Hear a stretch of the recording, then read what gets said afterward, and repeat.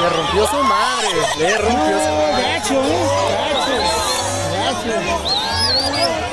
Gacho.